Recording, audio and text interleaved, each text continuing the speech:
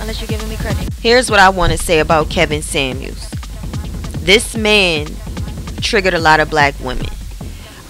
It's all about how you choose to receive what somebody say, whether that is going to offend you or if that's going to make you a better person. I listened to what Kevin said and I agree with most of what he said because I don't look at what he said as a negative. I look at what he's saying. Can it enrich me? Can it make me better? And this is what I always say on my channel and in my life. If it makes me a better person, then I receive the information. Facts. I'm almost 40. I'm not married. I do have a boyfriend, been with him for a long time. Can get married. We've talked about it. Don't have kids. And this is me being vulnerable, telling you my personal business. Don't have kids is my choice. I just chose not to have kids. And yes, I do have fears sometimes. Maybe I made a mistake. Who's going to take care of me? But the things that Kevin says is to me 100% right. I am not a 20 year old.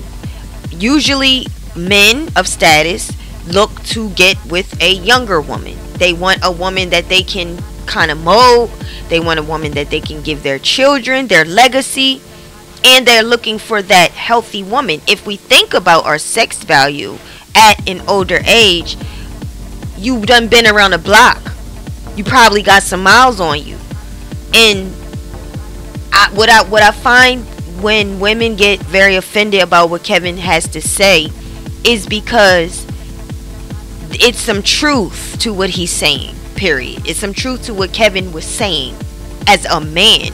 The fact that women are not men but they have the most loudest voice and the the the, the loudest opinion about what a man think. Yo that's not that's off. It's off.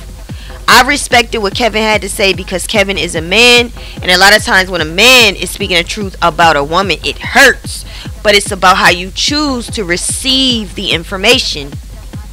Are you going to let that information tear you down or are you going to let that information build you up with knowledge? A hypocrite. In my honest opinion, he really was. I didn't find anything about him to be healing. He insulted uh, African American women on a consistent basis. Uh, one of his last statements that uh, he said was that if you're over 38 and you haven't married or something like that, that you're no good and disposable. Um, to me, it was a shock jock. And, you know, I, I hope this is teaching folks a lesson about the karma that you put out, the negativity that you put out in the world, that when karma comes knocking at your door, she might not be so kind. That would send a damn sure close signal that you're on trying to actually do something different. It would also give your boys more time with the man they need to be with, their father. Women over 35 years old, sex value ratio drops. Men don't really want them. This is my way of saying what Kevin was saying, and I hope that I'm saying it correctly. Is that true, ladies? Is it true that if you're over 35 years old, that a man of high status probably is going to look at the woman that's 25 years old? Is it true that at 35 years old, a non virgin woman doesn't have she got bodies on her. She's she's got miles on her. She has more experience. She's more set in her ways versus a woman that's younger that has less bodies potentially and is more naive and easy easier to manipulate and control. Uh, Kevin never told a lie. It is facts. No man's gonna come in my life and tell me what to do, what to think, what to wear, how to be. They're not gonna be able to dictate my feelings. It's no, no, no, no, no, no, no. No. Try me when I was in my 20s. And what I what I say that even me get me aging some. I'm a lot more older in physical appearance than I was at 25, bubbly, bubble butt and juicy skin and less blemishes, less stress, less so again he told no lie. I I think that a lot of times with us black women we get offended like I always say y'all we have to master our emotions meaning we have to be able to listen to what people saying without always taking it personal without always letting that tear us down just take the information like when kim kardashian made her statement about how you need to work get up off your butt and work black women got upset black women was dis- just destroyed and distraught over that comment. But we have this because we have this woman who is not black who is telling us this and telling us straight in the same way we would tell each other in the same voice. It was more hard to stomach her and you got offended. You tore, you know, you went for her juggler when she said that. So much that she apologized. But me, I never got offended because, like I said, I have mastered, I've taught myself to listen to the message and, and not pay attention so much so that I'm paying attention to the messenger that I'm offended. If it's some kind of knowledge that's going to make you a better person, just take that. Take the knowledge. What Kevin was saying, he's not saying that you're you're not going to be able to ever find a man. He's not saying that you're never going to have a high value man. But I think that it was the fact that a man was telling you to your face, you're not who you think you are, sis.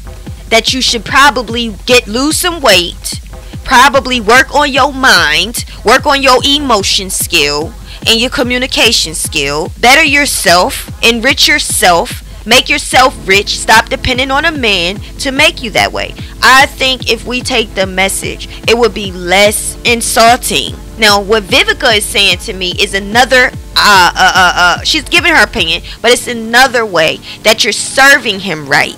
You're basically saying, "Happy, happy, dance, dance." The man is dead. The man is dead.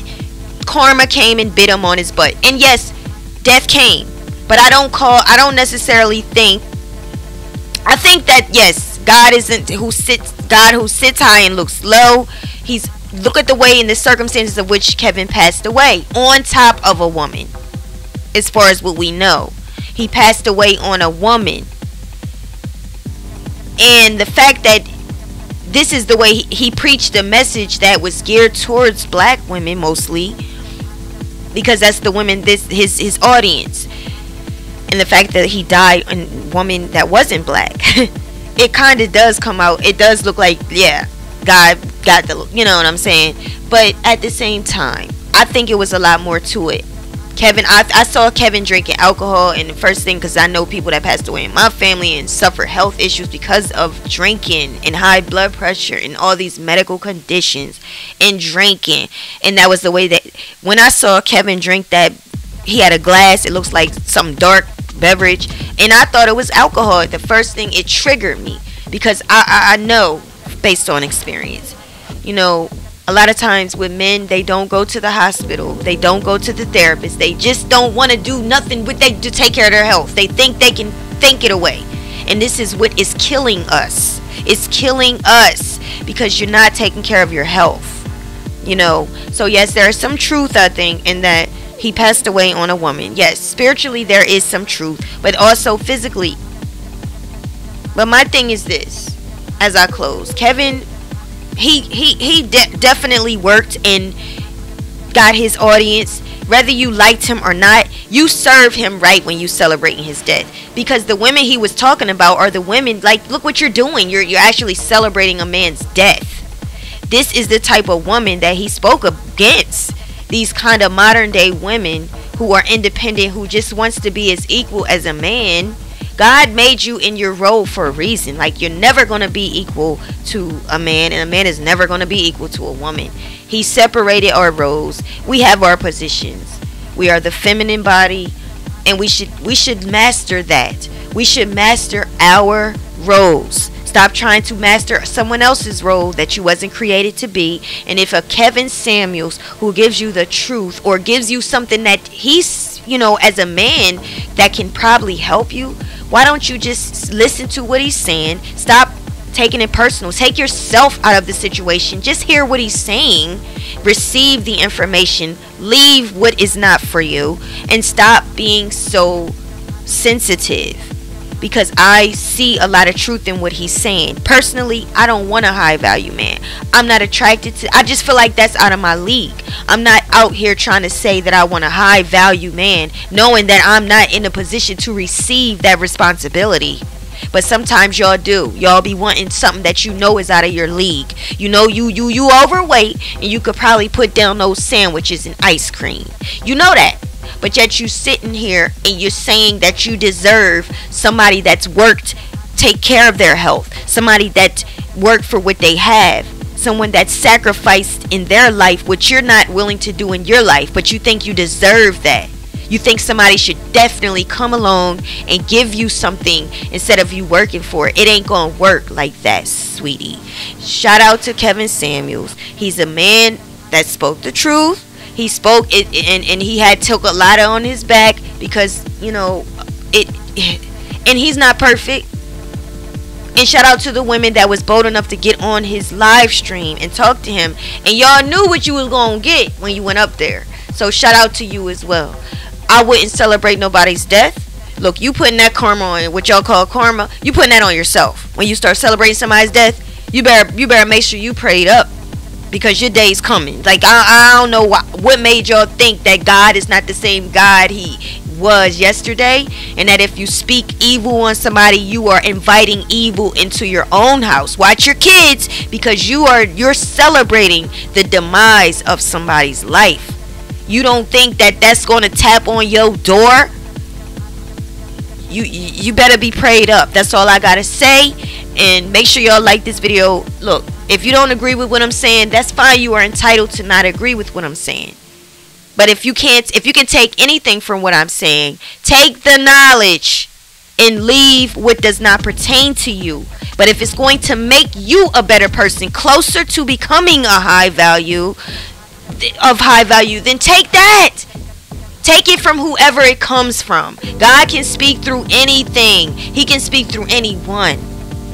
And if you asking God for something, and when He comes through a Kevin Samuels, you you judging him so bad you can't even get the blessing because you looking for it to come pretty in package when it may not come like that. It may come in a sword, and the truth cuts like a sword, like a two-edged sword. So if you can't receive the blessing that God might have through a Kevin, stop asking for it.